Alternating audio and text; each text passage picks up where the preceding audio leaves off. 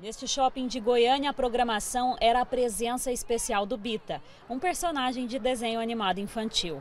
A criançada ficou encantada. Olhinhos brilhando e os tchauzinhos fofos. É o Bita? Sim. É? Você gosta dele? Teve muito abraço no boneco. Roda gigante, pintura e muita foto para registrar o momento. Viemos brincar um pouquinho nos brinquedos e na atração do shopping. Eu trabalho, né? Então eu estou aproveitando um dia anterior para poder dar o melhor para eles. Os filhos da Roberta são o Henrique, de 3 anos, e o Gabriel, de 4, que queriam por tudo me entrevistar. Seu nome? Ariane, e o seu? Tabiel. Gabriel, conta pra mim, você já ganhou o presente de Dia das Crianças?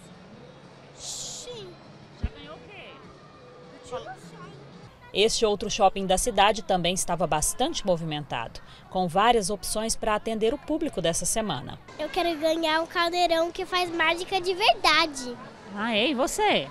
Eu quero, no Dia das Crianças, eu quero pegar um brinquedo que é da Mônica. Eu ganhei uma Barbie, eu ganhei a Barbie viajeira. Me surpreendi com tantas atividades que tem para as crianças e coisas para fazer, né? Quero voltar mais. Pai e mãe gastando por aqui nesta loja de brinquedo. Alguns já pesquisaram, mas o dia de comprar é hoje mesmo. Então tem criançada aqui, olha lá, já escolhendo os brinquedos, qual seria ali a melhor opção.